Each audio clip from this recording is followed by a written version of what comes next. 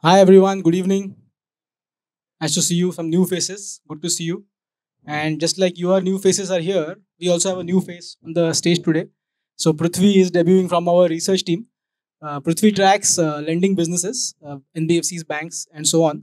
And I think this topic is quite interesting for everyone. So Prithvi, over to you. Thanks, Ronak. Uh, good evening, everyone. Uh, today we'll be looking at neobanks and try to answer this question if it will be the future of banking.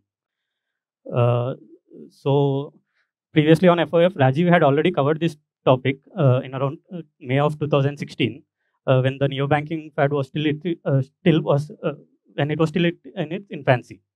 Uh, so I will be trying to build on that presentation. If anyone haven't seen this, then it would be a good starting point. So today's agenda will be first we'll be covering about looking at traditional banks, a brief history of the banking industry. Uh, then we'll look at the business model of traditional banks, and then we'll go into the neobanks, uh, understand what neobanks are, and then we'll take an example of a neobank and try to do a deeper dive into it. Uh, after that, we'll be uh, comparing the traditional banking model with the new banking model, and finally, we'll try to answer this question.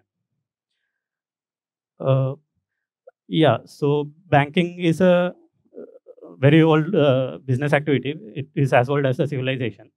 Uh, so at its core, banking is nothing but it's an intermediary which connects the, uh, people who have excess money, excess funds, to those who are in requirement of funds. Uh, and by doing that, it uh, earns an interest rate differential. So the bank pays the depositor a lower interest rate, and it earns a higher interest rate from the borrowers. Uh, the difference between those two is what the bank earns.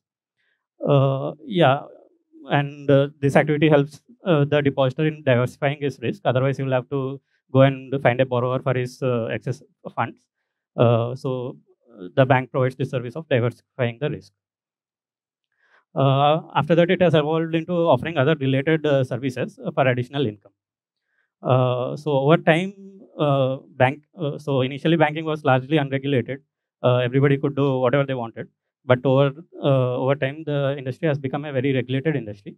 So we'll first look at how uh, the industry has uh, uh, gone under various regulatory changes. Uh, so we'll, uh, we'll take two countries as examples. Uh, first USA, then followed by India. So prior to 1863, it was largely a free banking era in USA. So what I mean by that is, so initially when USA was formed in 1770s, uh, in, initially there was a big dispute whether bank should be a state subject. Uh, so initially, uh, yeah, when US got its independence, there was a big dispute whether bank should be a state subject or a uh, federal subject. Uh, uh, uh, followed by which there were a couple of banking acts which were tried to which uh, which the government tried to pass, but they didn't work out. And eventually, it turned out uh, it became a state subject, and uh, all the states uh, were not very keen on regulating it. Uh, and uh, everybody who wanted a banking charter license uh, could easily get it. This continued till 1863. Uh, by 1863, uh, uh, by the end of Civil War, what happened was people were issuing banknotes as they wanted.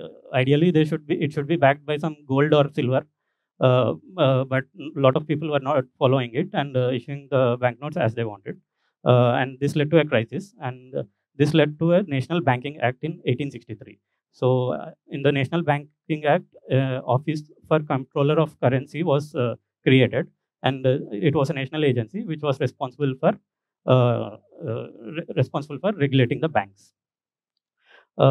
Yeah, again, so the main part of the act was basically for whatever banknotes that bank issued, it has to be backed by some US government security. Uh, this uh, worked out well till about 1907, but by 1907, the economy had uh, turned into a more complex one than what was there in 1863, and the National Banking Act was acting as a limiter. A lot of the funds were concentrated into few hands, and there were liquidity crisis, uh, liquidity crisis in 19, uh, 1907. Uh, at that time, there was no federal bank to act as a backstop and to provide the liquidity. Uh, this resulted in a lot of uh, bank runs in uh, New York and surrounding areas. Uh, so this from 1907 to 1913, there were a lot of deliberations, and then finally a federal banking act was passed. Uh, this created the US federal bank system uh, that we know of as, to, as of today. Uh, again, this system also worked till from 1913 to 1933, uh, but in 1929 the Great Depression happened, and the this Federal Banking Act was not stringent enough to control the banks. so in 1933 there was something called a Glass-Steagall Act which was enacted. so till 1933 in USA, uh, a bank could do investment banking activities with the money it got from its commercial banking. So it could take deposits from people and uh, then use that deposits to do speculative investment banking activities. So that was one of the main reasons for the 1929 uh, crisis. Uh, so to correct that, uh, a new banking act uh, was enacted. it is known as the New Deal, which was more stringent, and also the Glass-Steagall Act was there, which made it, which basically separated the commercial banks and the investment banks uh, and they couldn't use the funds interchangeably. Uh, so this again worked from 1980 to uh, uh, sorry 1933 to 1980. Uh, but by 1980, while the banking system was healthy, there was a lack of innovation, lack of innovation, and also in the New Deal that was enacted in 1933, it was very difficult for a bank to operate across multiple states. they had to take individual charters from each state and all. So 1980 onwards, there was a lot of deregulations uh, where some of these uh, protections enacted in 1933 were slowly removed, and it became uh, much easier for the banks to uh, move across state boundaries. Uh, yeah, so because of these deregulations, in 1980s, in that one decade, uh, almost 4,000 banks got merged, and in 1990s, about 6,000 banks got merged. so this is a brief chart. So the end products are Citigroup, JM Financial, Chase, uh, sorry, JP Morgan uh, Chase, uh, Bank of America, and Wells Fargo. But during this era from 1990 to 2009, it went through all these mergers and acquisitions. Yeah, so overall, there was a lot of consolidation in the banking industry, and these four emerged as the top top commercial banks. yeah, uh, and another development which was happening internationally was the Basel norms. So by 1990s, banking, uh, basically globalization has started taking place and uh, banking has become more of a globalized thing. Uh, if there was some issue in one country, it was no longer uh, restricted to that country and it could affect the uh, entire financial, uh, financial health of other countries too.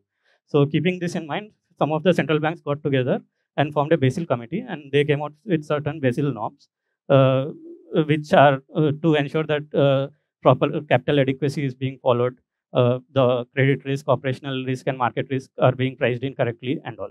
So there have been three Basel norms so far. We are currently in the Basel norms 3, uh, Basel 3 norms. Uh, yeah, this all worked out uh, well till 2008, but again 2008 uh, banks started uh, speculating with the money because the de deregulations from 1980 allowed them to. Uh, and again, we know what happened in the 2008 uh, financial crisis.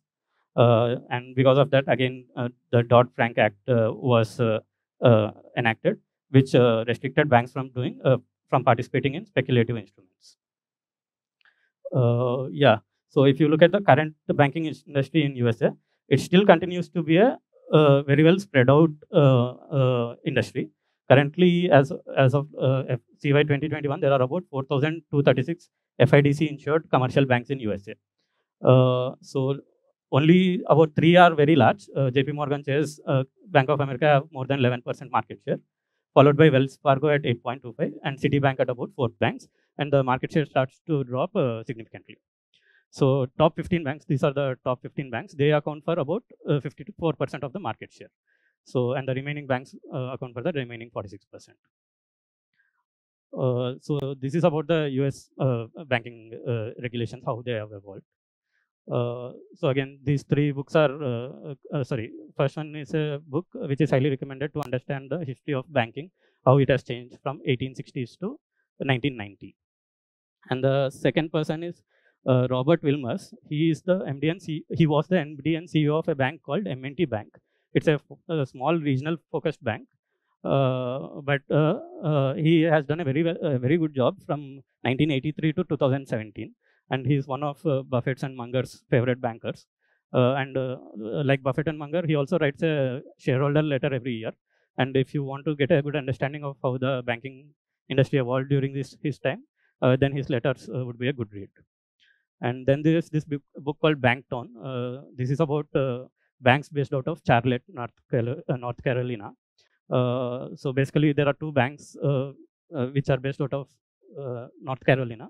Uh, so one is Bank of America, and another is Wachovia Bank, which uh, which uh, which went on to merge with Wells Fargo. So this book covers those two banks uh, and how how this all how all these mergers affected the culture over there, uh, how the city got affected and all. Uh, it's an interesting read to understand the merger scenario in the from 2000 to 2010 and it briefly touches upon the financial crisis also. Uh, yeah, so coming to banking industry in India, uh, so from 1700s onwards, when the first uh, bank was set up to about 1969, banking in India was largely uh, driven by uh, trade and commerce. Uh, initially, the British established some banks to to enable their trade to UK. yeah, and followed by slowly some of the in uh, early, early 1900s, uh, sorry, in 1850s and all, some of the localized, more localized banks also started uh, taking shape. Uh, so, for example, Allahabad Bank and all uh, uh, took shape during this period. in the early 1900s, because of the Swadeshi movement, lot of in, lot of industrialists wanted to establish their own Indian banks, and we have some some of the banks coming from this era. yeah, so in uh, so some of the major banks were uh, uh, Bank of Bengal, Bank of Bombay, and Bank of Madras, which were eventually merged into Imperial Bank, and this later on turned into State Bank of India in 1995, 1955 yeah uh, apart from state bank of india um, state bank of india most of the other banks were privately owned uh, in 1969 uh, government felt that these private banks were not doing enough to ensure that all the banking services were reaching the uh, reaching all the needy people, especially the farmers, small scale industries, and all. Uh, and they decided that they will nationalize some of the banks. In 1969, about 14 banks were nationalized. Uh, followed uh, following after this, in 1980, another six banks were nationalized. Uh, so this continued on until 1991, and 1991 again, as you know, Indian economy opened up, and in by 1994 uh, the government decided that we need some uh, we can we can start allowing some private sector banks to uh, to get more efficiency into the system so in 1994 about 10 banks were given license uh, of which uh, six are still existing. Other four were merged in the in between periods. And yeah so brand new bank started from 1994 these 10 banks started from 1994 onwards. And in 2003 we had a uh, another round of bank licenses where for the first time an NBFC got converted into a bank, uh, Kotak Mahindra Bank, and also a new license was given to Yes Bank. Uh, and again in 2014, uh, there were two other banks which were allowed. One was IDFC Bank, and the other was Bandhan Bank. Uh, yeah, and largely 2010 to 2020 on the on the corporate side was largely driven by the NPMS that had happened in the last four to five years. Uh, and uh, most of the banks spent this uh, time in cleaning up, cleaning up the cleaning up their books and uh, making provisions for the NPS. Another theme that was playing out in the in this last uh, decade was financial inclusion. Uh, so, so government wanted banking banking services to be available to each and every person of the country, and launched the Jan Dhan Yojana program uh, yeah, apart uh, so a uh, lot of new bank accounts were opened and even so, some of the services like direct benefit transfer and all started taking place so if we look at the current situation in india so compared to india uh, compared to us india has very uh, low number of banks there are 137 scheduled commercial banks of which uh, 43 are the regional rural banks so these are the Grameen banks mostly uh, then we have four payment banks, uh, 12 small finance banks, uh, followed by 45 foreign banks. in foreign banks, most of them have just one or two branch presence in India. Apart from DBS India, DBS Bank India Limited, uh, which is a which has its wholly owned subsidiary in India, and it can operate pretty much as an Indian bank. And another is State Bank of Mauritius, uh, which, which also recently got a uh, which also recently set up a wholly owned subsidiary in India. And then, yeah, sorry, one more thing I forgot to mention was in 2018 onwards, uh, there was a lot of consolidation in the public sector banks space. So all the SBI banks and its associates were merged into uh, into one into SBI, and among the remaining uh, public sector banks also there were a lot of consolidation. Uh, so currently we have about 12 public sector banks and 21 private sector banks. Uh, so these 33 banks, the public sector banks and private sector banks, uh, uh, almost have majority of the market share. either you see by deposits or by loan market share. these these banks, these 33 banks have about nine, more than 90% of the market share. Uh, so again, if we compare it to the US industry, we are quite concentrated in uh, in terms of uh, banking market share over here. yeah, among these 33, I think only one Nainital Bank is not listed. Apart from that, all the remaining 32 are listed.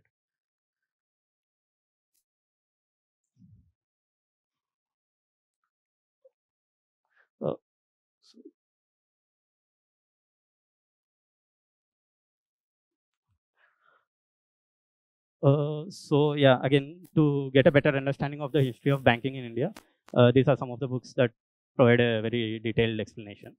Uh, again, all are very famous books, so you can look at them. Uh, so traditional banking model has been largely branch driven so far. Uh, it it depended on the physical physical touch points to provide services.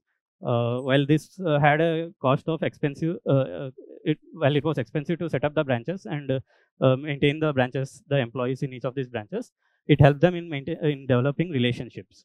and with the help of these relationships, the banks could cross-sell additional products. and this not only created additional uh, loan products and uh, its uh, interest income, but also some some third-party products they could sell and generate fee income. And uh, in traditional banking, it was largely full service banks only uh, because it was not cost efficient to be a single line banker or to serve only a niche category of uh, customers because of the expensive setup costs and all. Uh, this somewhat eased when internet banking started taking off in early 2000s uh, and when the internet uh, access became better from 2010 onwards it further eased but still it required a lot of branch visits and all uh, even account opening and all required branch visits and uh, not all services were available online.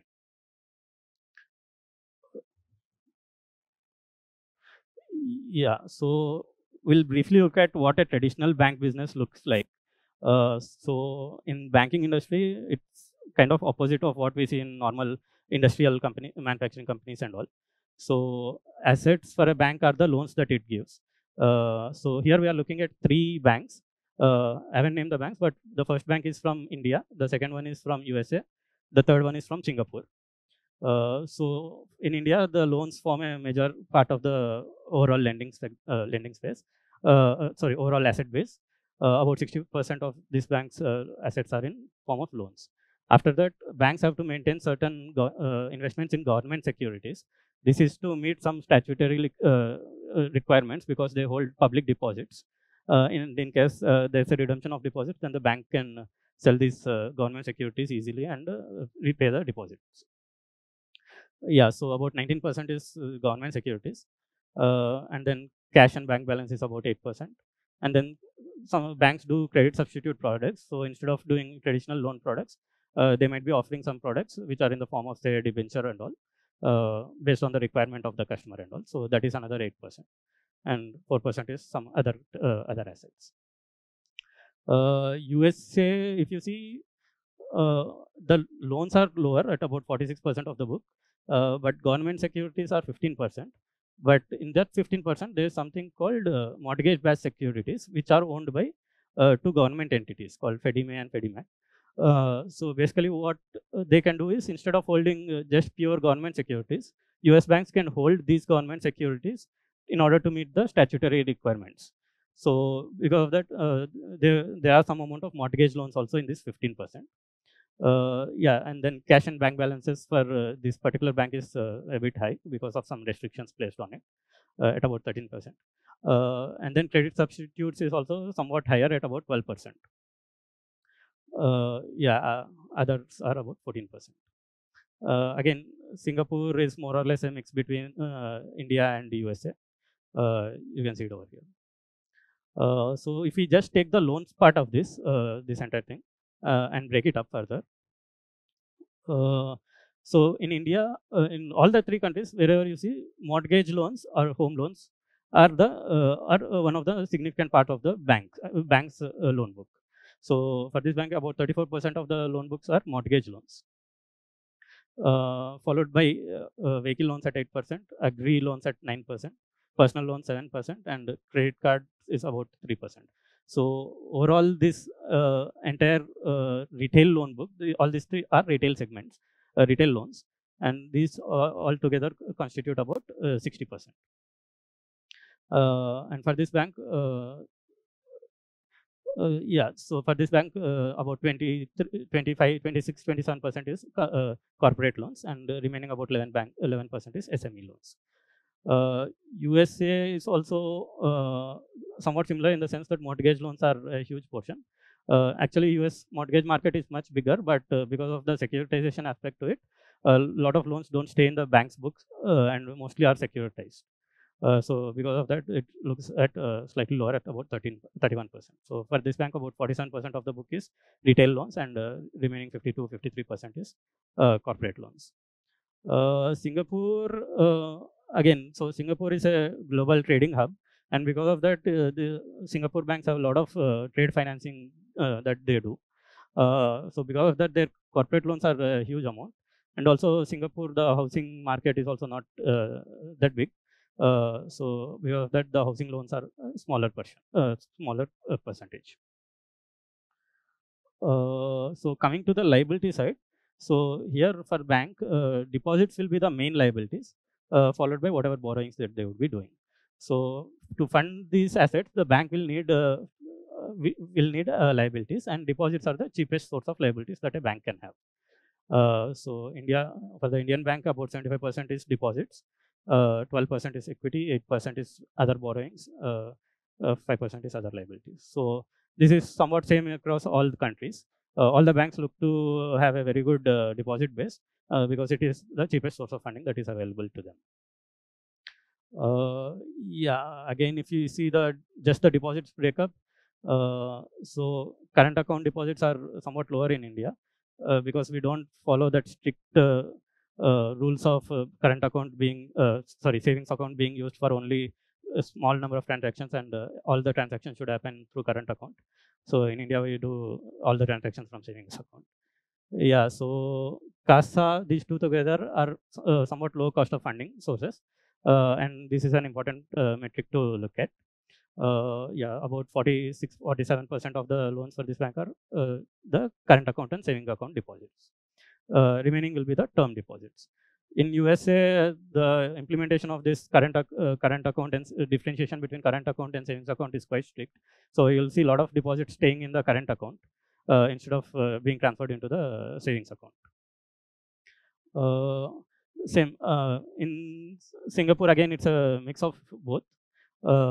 current account is, and savings account together constitute about 75%, and term deposits are about 24%. Uh, so this chart will explain on, uh, will give us an indication on how to look at the uh, in, ROE generation ability of a bank. So as I said earlier, so banks will be giving out interest, uh, giving out loans, and we, they will be earning interest income on that, uh, and they'll be paying interest expense to the depositors. so these two together, we get what is called as a net interest margin. Uh, so this will be the difference of these two. So basically the red ones are the expenses kind of things. Uh, green ones are the income. Uh, so this is the net interest margin that the banks earn. Uh, apart from that, uh, banks have also diversified into offering other fee and commission based services and they earn some income from there. then another the major expense that the banks have is the operating expenses. this involves paying staff, uh, setting up banks, running the banks, maintaining the banks, and all. Uh, and after that, there's something called provisions. So the loans that the bank gives, uh, as long as they're good, uh, it is fine. But once they start turning bad, uh, in the sense the repayment is not happening properly, they'll have to start providing for those loans. Uh, so basically, they'll have to take a hit in the P&L for those loans. Uh, so again, so higher provisions will be a detrimental thing. Uh, it will say that the underwriting of the bank is not very good. And finally, we have the tax expenses. So if you, from the net interest income that you get here, if you add the other income, uh, remove the OPEX, provisions and tax, then you'll get the uh, return on assets. And uh, again, uh, banks are leveraged businesses. if you multiply it with the leverage, you'll get the, about the uh, ROE that the bank is generating. So same in USA and Singapore. So while the US and Singapore interest rates are low and the NIM might look low, uh, but it is compensated uh, from the other activity, uh, other compensated in the other columns.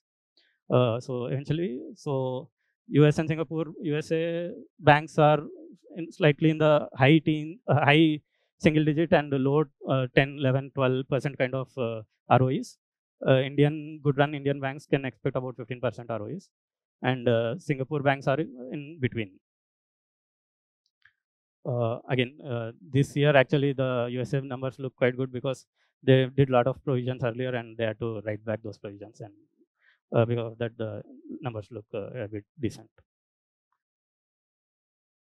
Uh, so with this context, now we'll start looking at the neobanks.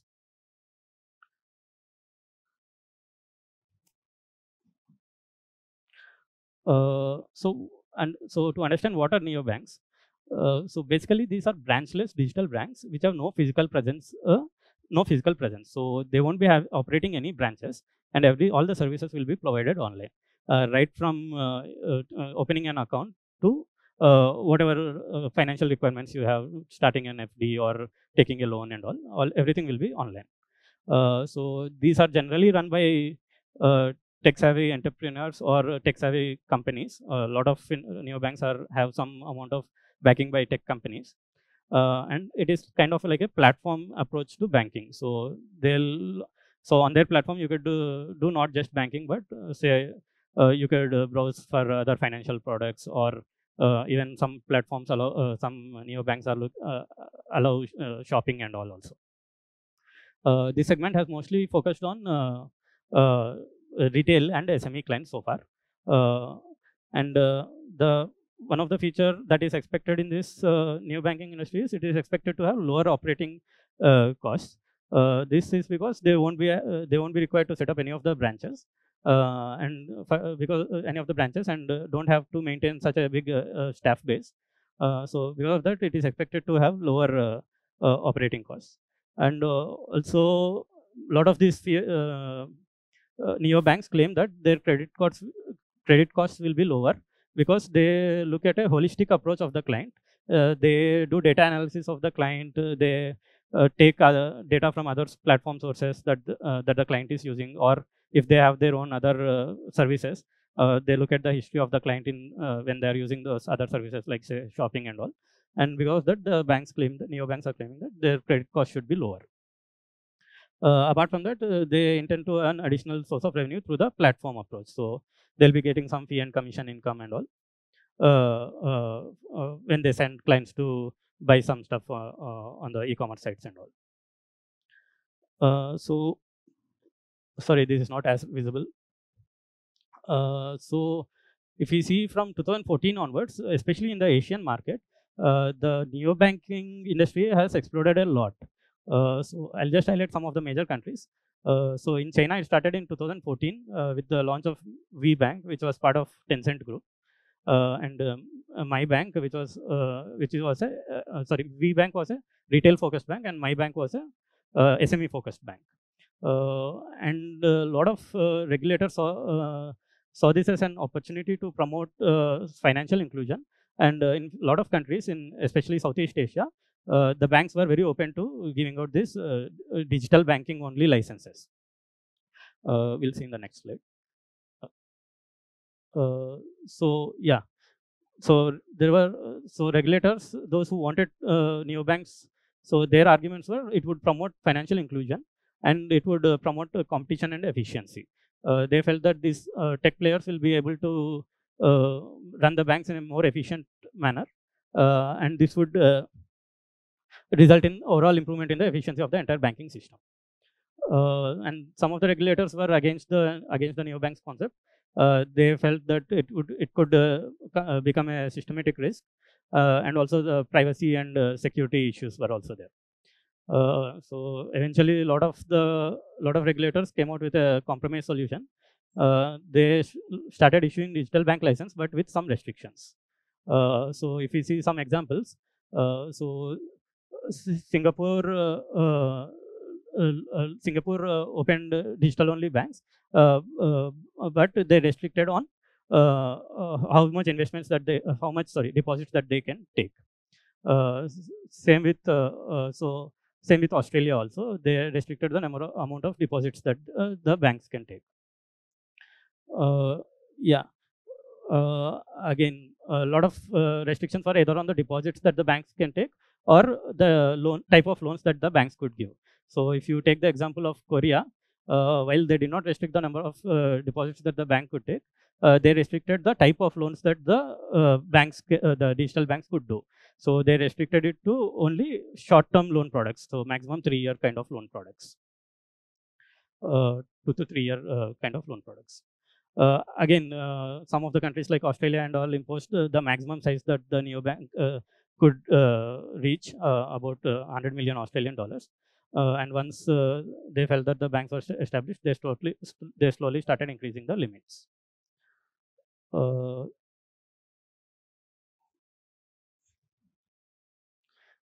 Yeah, so we'll understand what has what were some of the key enablers for uh, this boom of neobanks in uh, Asia. Uh, so first one was the digital access that with the in the last decade we all saw even in India the boom of uh, uh, access to mobile and internet has uh, tremendously grown up. Uh, because of this, a lot of people who were earlier in remote locations or could not afford to access mobile and internet were suddenly able to uh, access the mobile and internet. And next one was the demographics and economy. Uh, so again, demographic wise, a lot of young population who were just turning into professionals and started earning age, started earning were there in the Asian market. Uh, and even the economy has also started uh, economy of these asian countries also started doing well uh, during this period so this this gave this ma made the citizens of the countries feel that a proper banking system would be useful and they started looking into formalized banking systems. And then one another common feature a lot of these countries have is the unbanked or the underbanked population. Uh, again uh, because the traditional banking system was uh, cost uh, heavily uh, cost sensitive, a lot of people were left underbanked or unbanked. so, but with the advent of this digital access and the young demographics, a lot of these people started looking into these digital banking solutions. Uh, another thing was the infrastructure that was available in these countries. So if we take the example of India, with the uh, uh, with the launching of Aadhaar, we could uh, uh we could do eKYC process without having to visit any branch. Uh, we could authenticate everything through uh, Aadhaar-based systems. Uh, so similar eKYC processes in other other countries also uh, helped in growing this. have acted as enablers for neo banking system.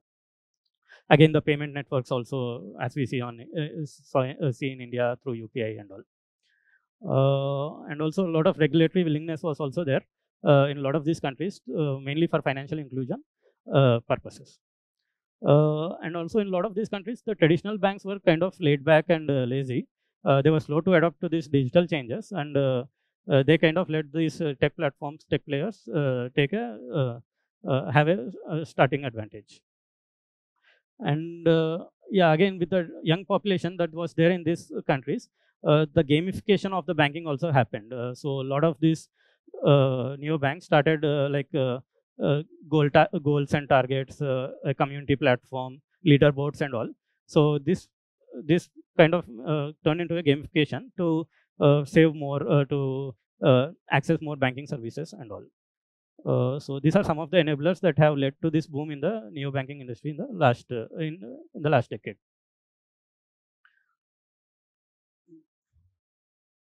Yeah, so we'll come to India now. Uh, so India, uh, RBI doesn't allow full stack licensed digital banks. So these are the banks which don't have any tie up with any other existing bank. Uh, and they can operate on their own. So RBI has so far not given licenses for these kind of uh, neo banks in India yet. Uh, yeah. So, but what the segment where we have the majority of the neo banks are the virtual neo banks, which use which take which take help of an existing platform, ex existing bank platform. So these neo banks they they say they offer better user experience and some value added services that are required uh, for the segments that they are targeting. So Jupiter, F5, Open are some examples of this category.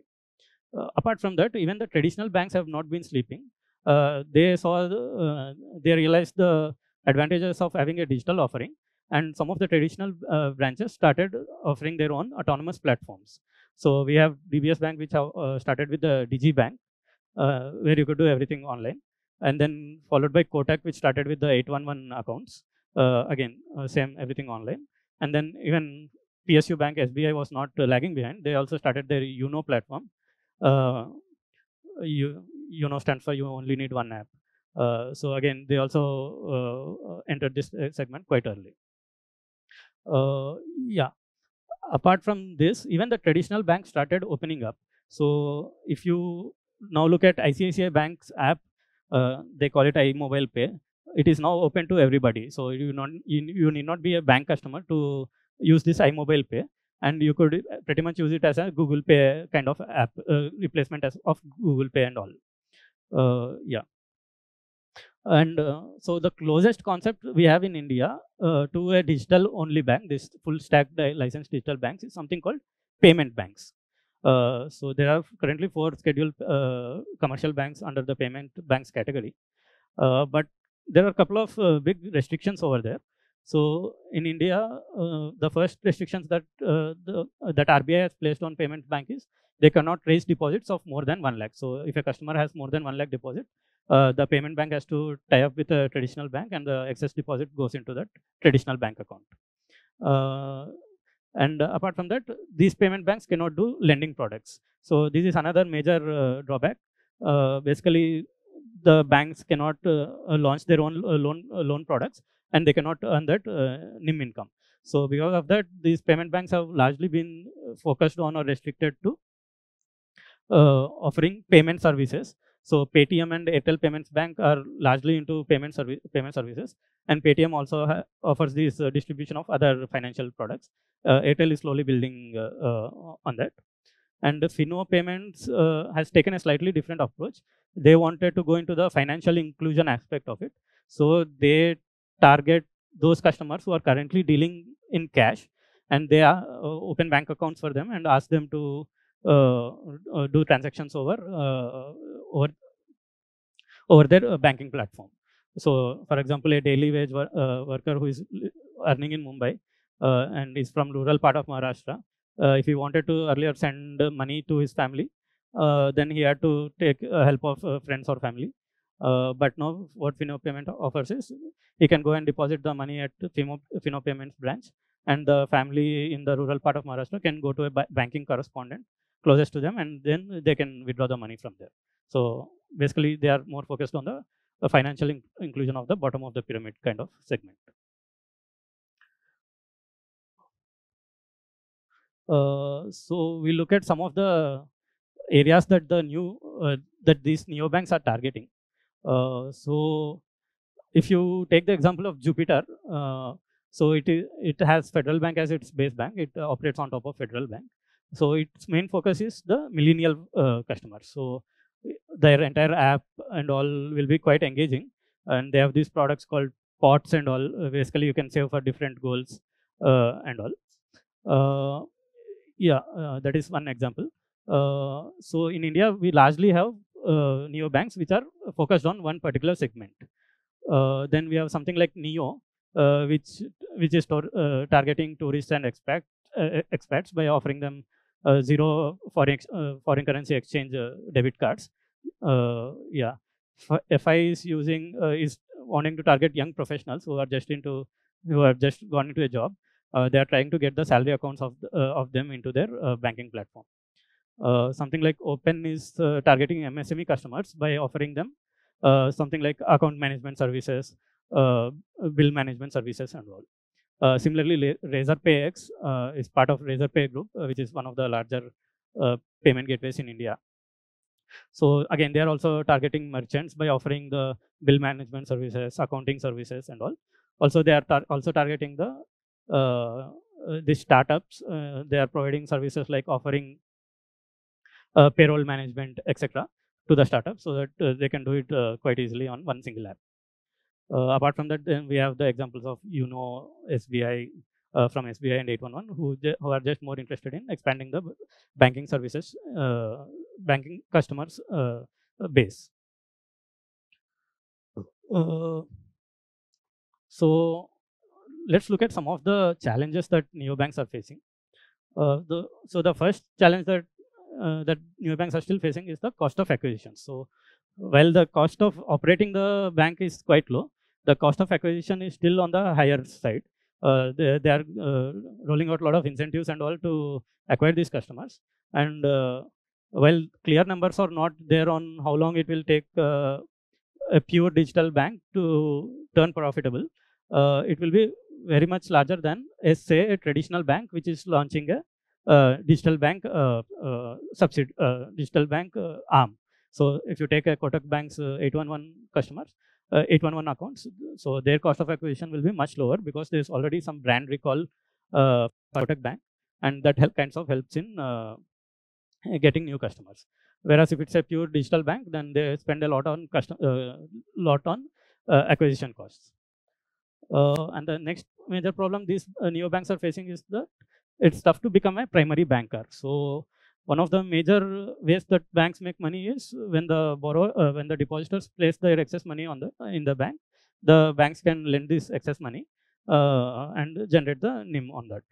Uh, but a lot of these neobanks are uh, neobanks have started by focusing on say payments or some other uh, very niche niche kind of service. And because of that the customers are also using that as a just a payments for only for payments they will be transferring money into that bank account and doing the payments. And they are not maintaining the balances and all. So without that maintaining the balances and all it will be tough to uh, get back this cost of acquisition and all. So unless they become a, become the primary banker of a customer it will be quite difficult to uh, uh, for, uh, to have a sustainable model. Uh, and then there are regulatory restrictions uh, which hurt the ability to generate income. So in India, we are seeing that the payment banks uh, cannot uh, lend uh, lend the money that they raise from as in the form of deposits. So because of that, they won't be able to generate an NIM. similarly, in a lot of other countries also, uh, there there are restrictions on the amount of deposits that they can raise and the type of products that uh, uh, they can offer, the type of loan products that they can offer. so because of this, the neobanks are largely limited to simpler products or revenue streams, and they cannot uh, they do not have the complex uh, ecosystem of products that a traditional bank uh, has.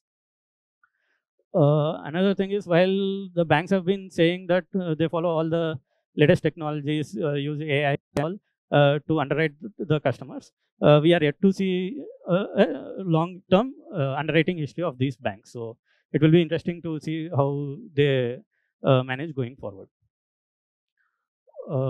So again for more understanding of neobanks, uh, these are some resources. Uh, so all the four banks, uh, four major private banks uh, in the last one, two years, if you see, have come out with their digital banking strategy. And these presentations and uh, webinars are available on their websites and YouTube. Uh, so you can get a better understanding on how they are approaching this problem by going through them. Next, this this this book called Bank 4.0. Uh, again, there was a earlier edition called Bank 3.0 and 2.0. Uh, this person, Brett King, he talks about how the uh, uh, how the banking system is evolving. He has been writing this books, this series of books since 2009, and this is the latest edition. it covers a lot about the neobanks and digital-only banks. and the same person runs this podcast called Breaking Banks, uh, so he discusses more re uh, recent developments and up to up to date. Uh, so he basically runs the podcast to stay up to date on the banking in the neo banking space. So yeah, For, so now that we have got some understanding of uh, what neobanks are, we'll take a deeper dive into one of one of the neobanks called Kakao Bank. Uh, it's a South Korea-based uh, neobank. Uh, yeah, it, uh, it it has turned profitable couple of years ago, uh, uh, and is uh, uh, doing decently well. Uh, yeah. So basically, Kakao it has a backing of a large ecosystem. So Kakao uh, is a uh, internet conglomerate in uh, in uh, South Korea. Uh, it has this messaging app, uh, gaming apps, uh, uh, this social networking kind of apps, uh, payment apps, taxi, uh, that uh, ride-hailing apps, uh, and all. And in 2017, uh, in order to tie up in with this platform, uh, they launched this Kakao Bank. Uh, so in 2016, South Korea started giving them licenses, started giving digital bank licenses, and in 2017 they launched the Kakao Bank. Uh, yeah. So one advantage that Kakao Bank has it uh, is that it has got an already built-in ecosystem ready to tap into. Uh, so yeah, uh, as of uh, FY21, uh, sorry, calendar year 21, uh, the bank has about 18 million unique individual accounts, of which 50% are below the age of 40. Uh, initially, they started targeting the millennial, new age kind of customers, but the digital, the banking ease of banking services that they were offering were uh, so like that. Even the older uh, generation of the population also started uh, using Kakao Bank. So they are currently, it is one of three digital-only banks in South Korea. Uh, you- the bank claims that about 64% of the working age population banks with them. Uh, basically, they have a banking account in, with Kakao. So largely, it offers the deposit and loan products that we see in traditional banks. So in loan products, uh, South Korea has had a restriction that oh, they could give only they could uh, uh, give only one to three year kind of time frame loans. So they could not give longer dated uh, loans. So because of this, all the loans are kind of short term loan products. Uh, apart from that, uh, the bank earns decent fee income by offering services like debit card fees, uh, for foreign remittances. It has a open banking architecture where others can use its APIs and integrate it into their apps and make it easier for them to uh, bank. Uh, apart from that, the bank also uh, follows a platform approach. So where if you open the Kakao Bank's app, uh, you can look at several other things. So you can do securities uh, trading on the same app uh, by part by they don't have a securities brokerage license, but they are partnered with other security brokerages, and you can use that link up. And they do loan referrals and uh, co-branded credit cards and also advertising. So they show ads on their uh, banking platform and uh, earn some income out of that. Uh, so if you see the breakup of uh, their income, about interest income will be about 74% of the total income, uh, followed by fee income, which is about 16%, and platform income is about 9%. Uh, so the bank expects this platform income to increase going ahead. Yeah, so these are uh, what they do in the fee and the platform income space to earn this revenue. So debit card uh, transaction charges and all, uh, remi- uh, foreign, uh, forex remittances, and in the platform space, securities accounts. Uh, they are tied up with five partners, co-branded credit cards, loan referrals, and all. Uh, yeah.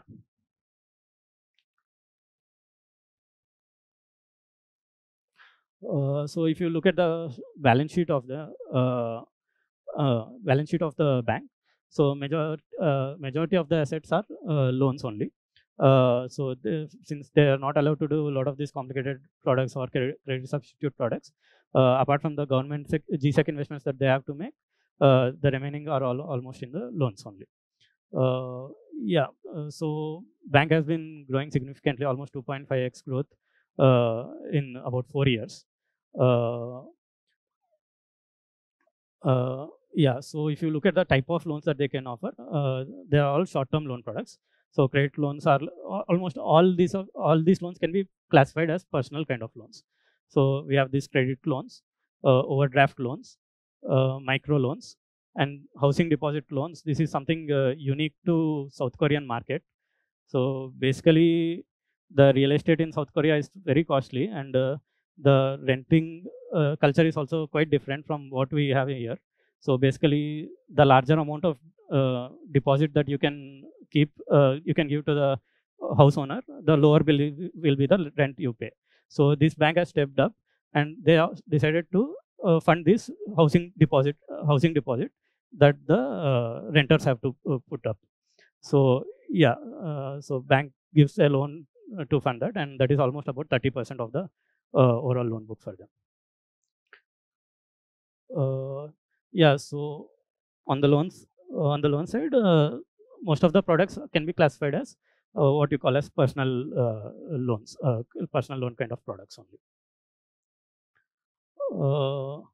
so coming to the deposit side, here here we see what we commonly see in other in other traditional banks also. So largely driven by driven by current deposits, uh, Uh, time deposits and small um, uh, this installment deposit is nothing but RD product uh, that we have in here recurring deposit kind of product uh, equivalent to a savings uh, account kind of thing. So basically you save for a fixed amount of time every month like a SIP and you get an additional amount. yeah again, if you look at the overall liabilities, almost entirely is deposits because they have higher deposits than what they require. They don't have any other borrowings also.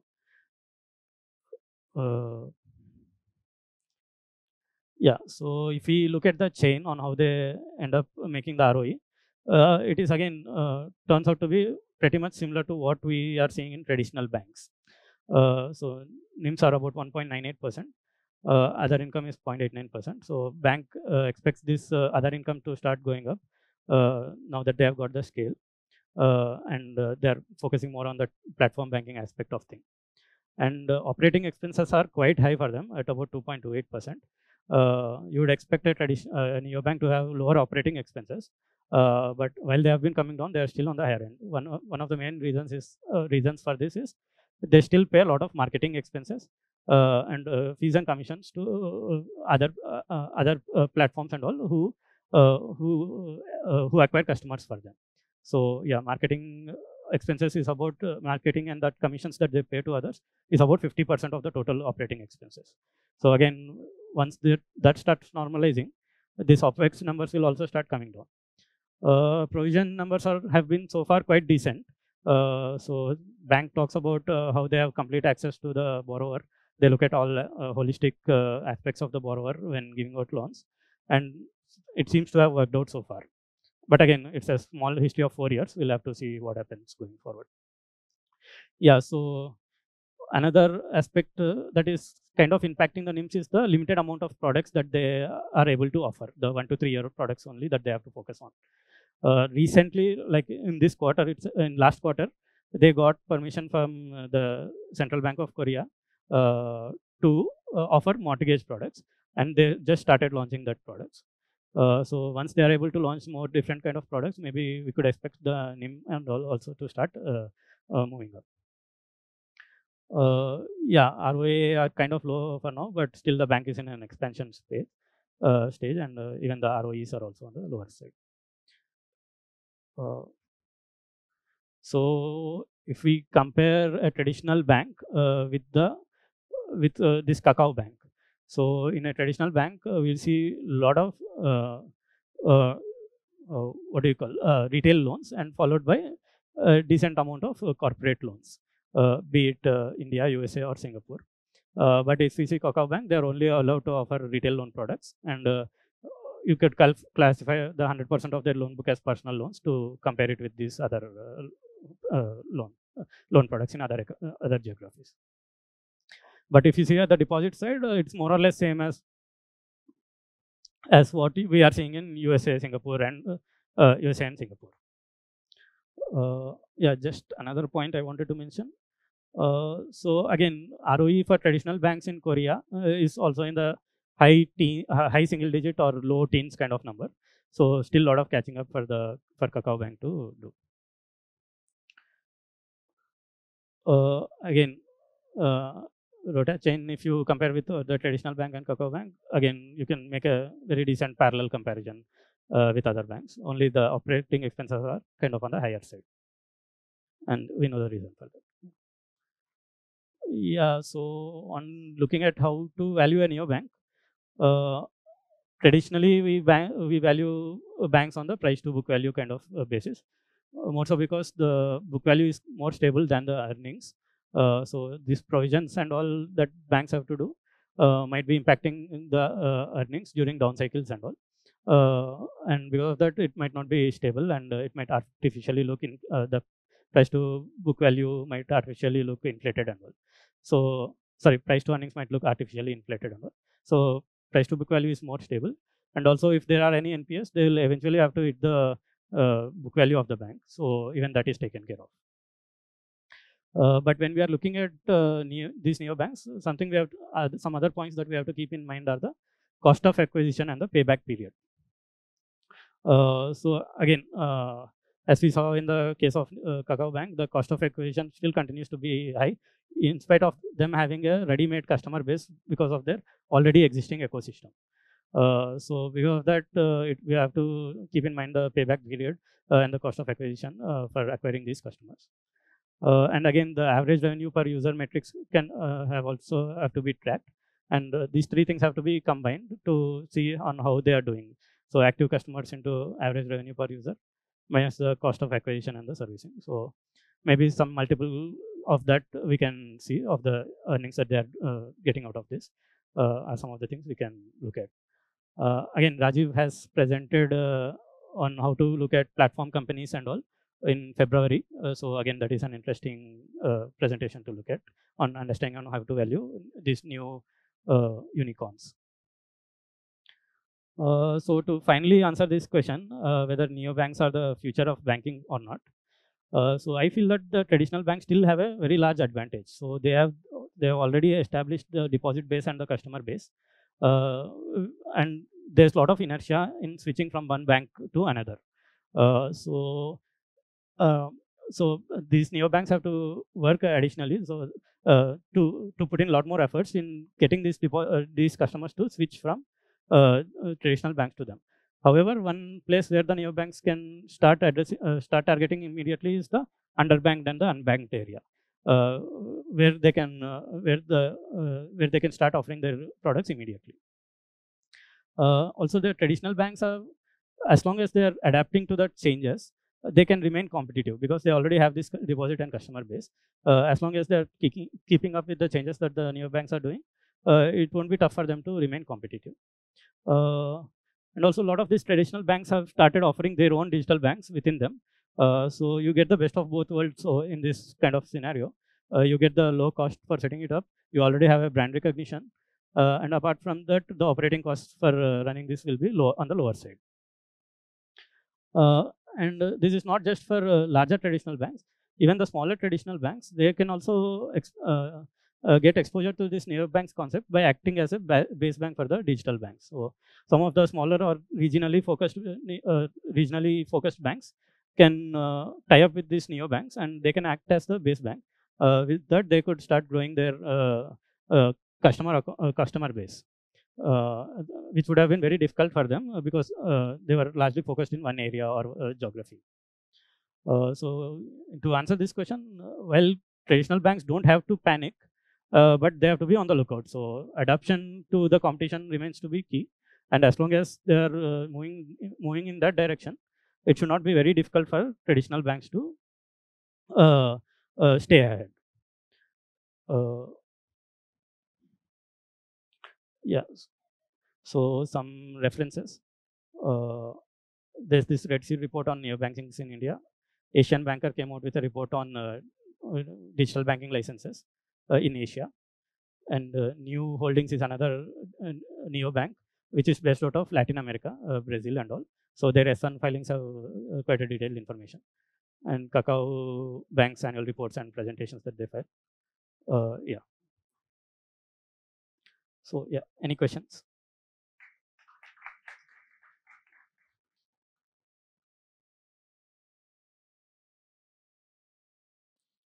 Any questions?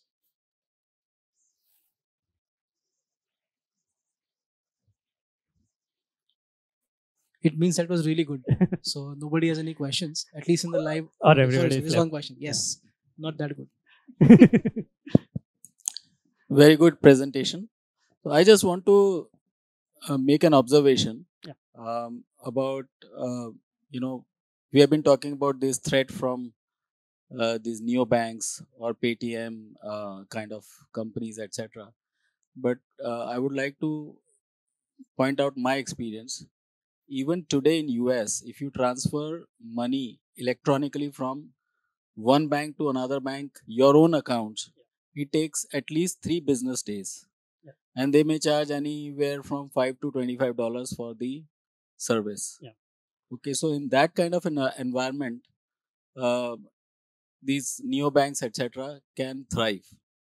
But in India, you know, we have UPI now, right? And um NEFT, RTGS, etc., for at least for the reasonably sized customers, it's free service and it's instant, almost instant, right?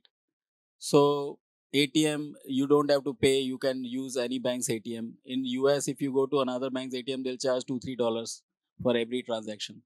So in India, the my observation is the Indian banks uh, have done a very good job of adopting, adapting te- technology and um, you know providing these kind of services uh, within, as you said. Uh, I mean, uh, I agree with your conclusions that the digital banks within the Indian banks they have done pretty good job of providing services. Uh, the other observation uh, is that you mentioned that you know the neobanks can target the underbanked and the uh, you know unbanked and underbanked areas. But uh, my question is, how would they get data about their customers? Like many credit card companies or lenders, they use CIBIL scores, etc. So you need some sort of credit history. So if you tread into that area first, you know when you have one-to-one relationship with customer, you can judge that customer even if they that person doesn't have a CIBIL score. You can judge that customer whether you want to lend that to that person or not. But yes, you have something.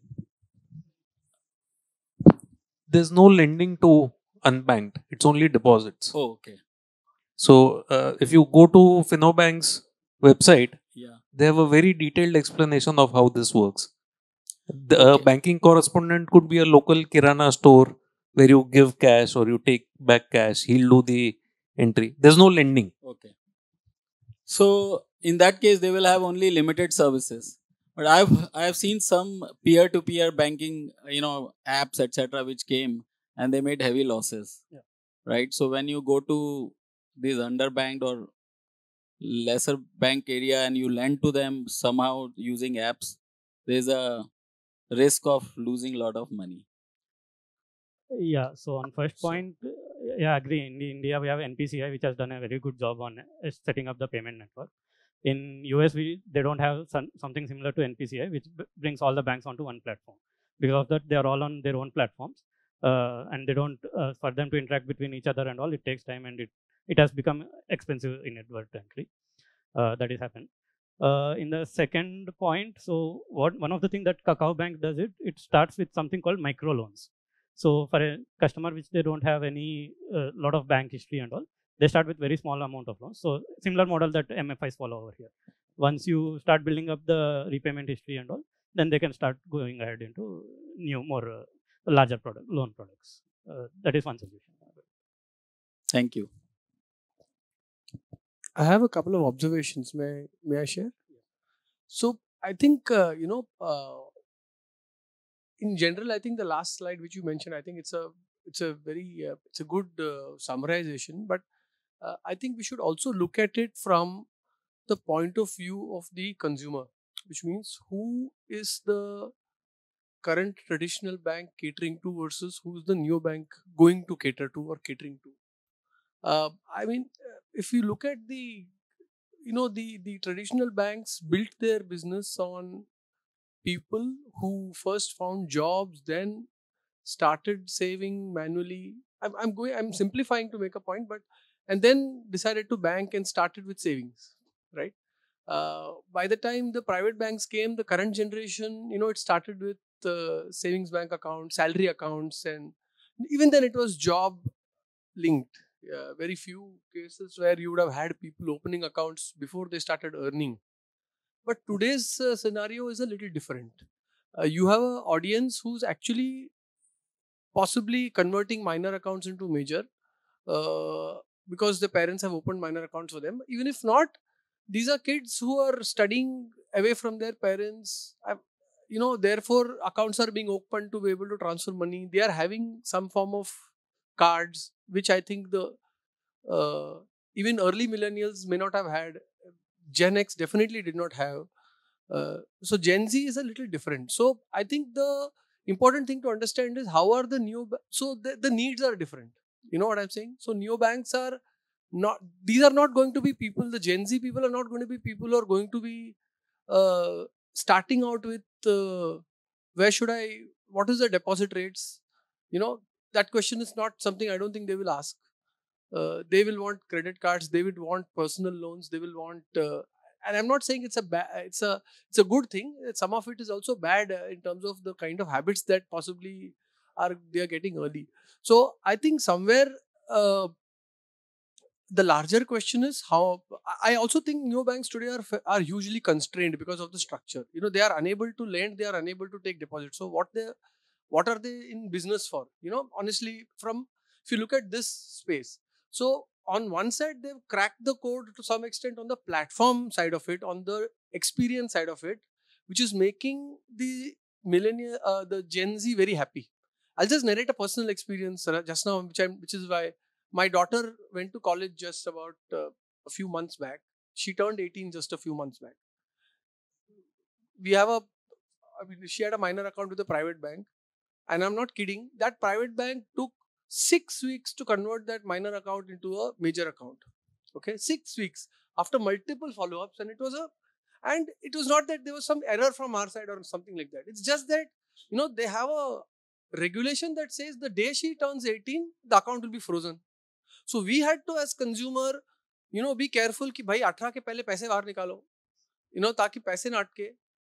फिर सब दे set पहले पहले pan लो फिर आधार लाओ फिर you know सबको upgrade करो फिर हम करेंगे but by the end the account is gone you know six weeks it took after multiple follow-ups finally when we went in through a fit at the bank they still couldn't figure out what to do so they gave us an insta debit card. Not even you know after all this. So i'm just so it may be a stray experience may not be typical. Even these banks are doing a better job in terms of improving the experience. The point i'm trying to make is that kid definitely would not want to bank with a experience like this because today's generation is different. So the point I'm making is that they have cracked the code from a experience perspective, from a consumer perspective. They may need more support from a regulation perspective because obviously if you don't have services, what will these kids do with those banks? But somewhere, so in that sense, banks may have launched nice apps and all of that, the traditional ones, but they still haven't understood these consumers and, and stuff like that. So sorry, long bit, yeah. but uh, just wanted to share my experience. Yeah. So these neobanks uh, say that they almost all of them say that they offer better customer experience. So the young, the current young age people are used to this uh, instant ordering, instant refunds, instant cancellations, and all. Which, if you look at a traditional bank, it takes a lot of time. So that is one area where the neobanks are targeting, especially banks like Jupiter and all. Uh, that is one area, as as you said, uh, where these these neobanks could get customer base uh, by offering better experience.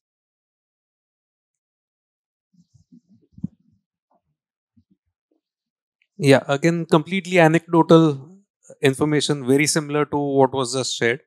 Uh, coincidentally, my daughter turned 18 a few months back and again went to college. Uh, the leading private sector bank took ages to uh, give her a debit card, e- even though the account was converted to a major.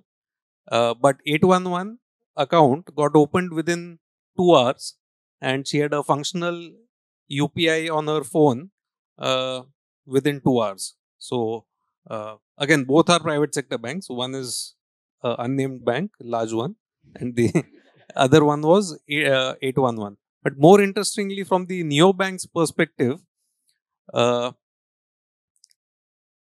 a lot of people think why do they need to exist? But uh, in south, in periphery of Chennai, almost everyone had these Paytm UPI uh, QR codes, and which is very common, nothing new over there. But the interesting part was the merchants did not need to look at their phones to know that the transaction has gone through.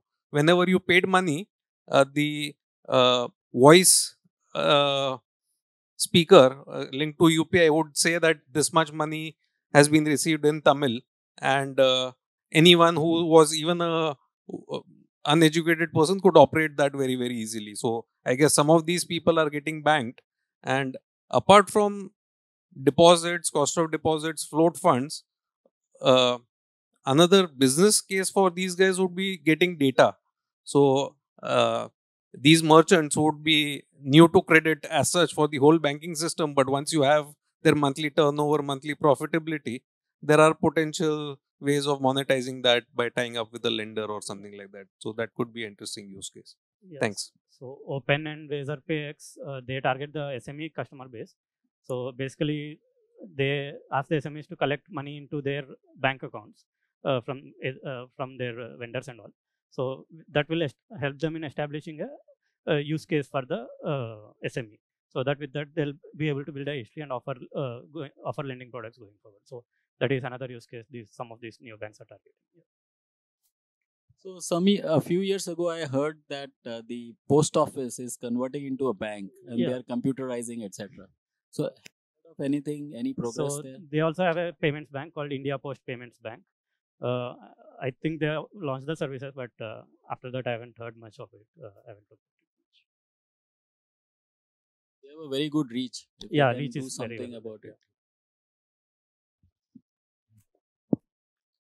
Since we have no questions from the live audience, we'll just go to the Zoom audience. Does anybody have any questions on Zoom?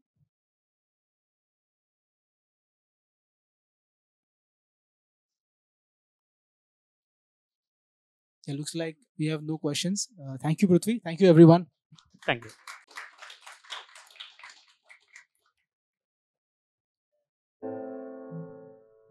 Whenever things got rough, I always remember what my father used to say. Running a business does test a man, my son. There are ups and downs, glorious highs, and sometimes a low that leaves you feeling defeated. The character of a man and the character of a business are not very different, are they? Yes. But when the chips are down, we must stand up,